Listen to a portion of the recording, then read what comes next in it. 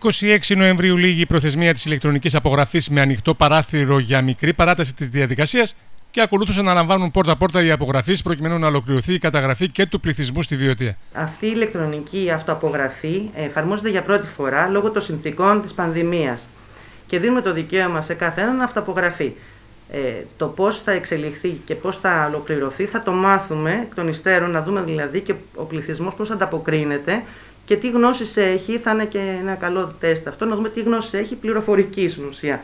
Γιατί είναι ένα απλό ερωτηματολόγιο, απλώς ε, μπαίνεις μέσα στην πλατφόρμα και το συμπληρώνεις. Συμμετοχή στη διαδικασία είτε ηλεκτρονικά είτε με τον παραδοσιακό τρόπο έχουν όλοι όσοι κατοικούν μόνιμα στον νόμο, οπότε στον πληθυσμό της βιωτεία θα συμπεριληφθούν και οι φιλοξενούμενοι πρόσφυγες στις δομές που λειτουργούν και οι οικονομικοί μετανάστες. Απογράφονται όλοι οι μόνιμοι κάτοικοι, ανεξαρτήτου ηθαγένειας, όσοι δηλαδή διαμένουν και έχουν τη μόνιμη κατοικία τους στο νομό βιωτεία, προκειμένου. Δεν ξεχωρίζουμε. Όλοι αυτοί οι άνθρωποι μένουν στον ελλαδικό χώρο, μένουν στο νομό βιωτεία, οπότε θα απογραφούν εδώ.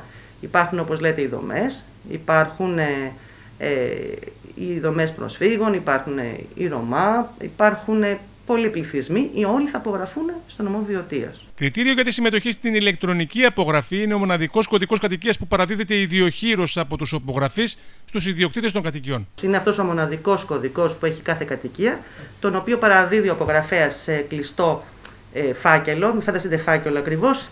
Θυμίζει ε, φάκελο ταχυδρομείου. Δεν είναι ακριβώς έτσι, μπορώ να σας το δείξω. Είναι αυτό, αυτή είναι η μπροσούρα. Βλέπετε, ναι, ναι. την οποία την κλείνουμε και τη σφραγίζουμε. Ε, μπαίνει αυτοκόλλητο εδώ και γίνεται έτσι και το δίνουμε στο χέρι, ο χείρος. Ο κάθε εκπρόσωπος του νοικοκυριού που θα παραλάβει το φάκελο αυτό, την μπροσούρα αν θέλετε αλλιώς, θα πρέπει να μπει στην ε, πλατφόρμα στο www.gov.gr και εκεί να κάνει απογραφή της κατοικίας του, του εαυτού του και των μελών που διαμένουν μαζί του μόνιμα.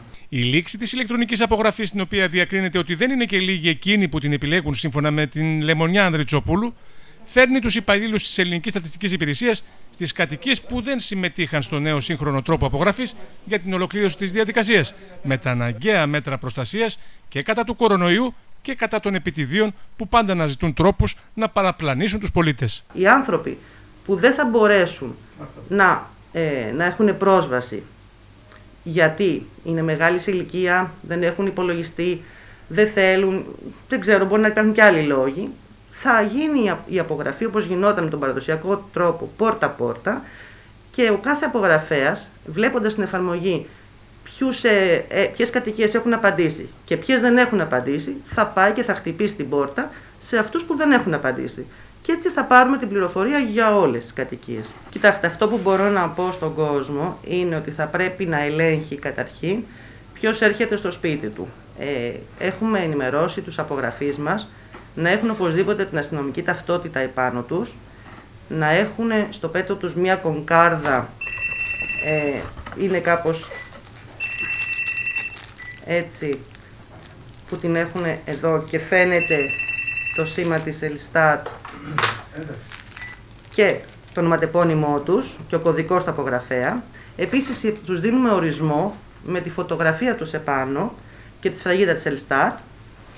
Τον, οπότε όλα αυτά ε, δεν μπορεί να τα έχει κανένας άλλος πέρα από τον απογραφέα, ναι, ακριβώς που πάει να χτυπήσει την πόρτα.